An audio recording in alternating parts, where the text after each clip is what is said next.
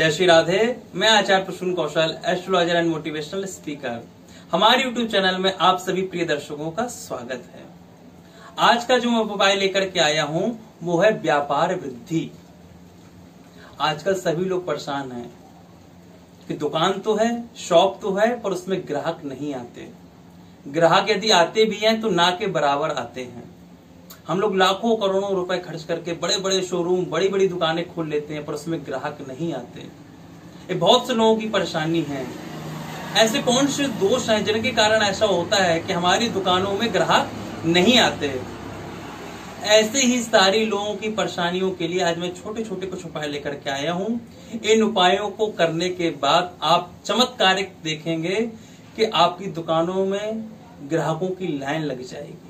अभी तक जो आपकी दुकान ग्राहक से खाली रहती थी, एक ग्राहक जाएगा यानी कि दूसरा आ जाएगा और आठ आठ दस दस ग्राहक आपकी दुकान पर खड़े रहेंगे। उपाय बताने से पहले मैं आप सबसे कहना चाहूँगा, इस वीडियो को आप लाइक अवश्य करिए शेयर अवश्य करिए और सब्सक्राइब अवश्य करिए। आप अपने उन फ्रेंड्स को, उन फैमिली वालों को सबको शेयर करिए, जो भी इस समस्या से परेशान है। आइए चलिए मैं आपको उपाय बताता हूँ। आपको सबसे पहले क्या करना है, शनिवार का दिन हो या अमावस्या का दिन हो। आपको अपनी दुकान पर जाना है, एक नींबू लेना है, उसके आपको चार टुकड़े कर देने हैं। एक नींबू के आपने चार टुकड़े कर दिए, उसके बाद आपको क्या करना है? पीली सरसों लेनी है। उसके बाद क्या करना है? आपको इक्कीस काली मिर्च के दाने लेने हैं। ध्यान रखिए, इक्कीस काली मिर्च और सात लौंग। ये सारी चीज़ें आपको लेकर के अपनी दुकान में किसी एक जगह पर रख देना है। कोई भी जगह हो, दुकान के अंदर उस जगह पर रख देना है। शाम तक ये चीज़ ऐसी रखी रहे, शाम को आपको क्या करना है? इन सारी चीज़ों को कोरा काला कपड़ा हो, उसमें बाँध लेना है सारी चीज़ों को। कोरे काले कपड़े में बाँध के इन सारी चीज़ों को किसी सूखे कुएँ में डाल करके आना है। ध्यान रखिए, जिस कुएँ में पानी ना हो, उस कुएँ में इन सारी चीज़ों को आपको डाल करके आना है। ये प्रयोग आपको हर महीने करना है। इस प्रयोग के करने से क्या होगा कि आपकी दुकान में जितनी भी नकारात्मक ऊर्जा है, जितनी भी नेगेटिव एनर्जी है, जो कोई भी दोष है, सारे दोष आपकी दुकान से शॉप से शोरूम से खत्म हो जाएँगे और आपकी दुकान चलने लग जाएगी। ये प्रयोग आपको हर महीने करना है। अब मैं दूसरा प्रयोग बताने जा रहा हूँ, बड़े ध्यान से सुनिए। करना क्या है? तीन मिट्टी के दीपक लेने हैं। मिट्टी के दीपकों में आपको क्या करना है? पहले तो पीली सरसों उसमें रखनी है, ठीक है? उसमें तिल रखने हैं। साबुत खड़ा नमक रखना है और आपको लौंग रखनी है।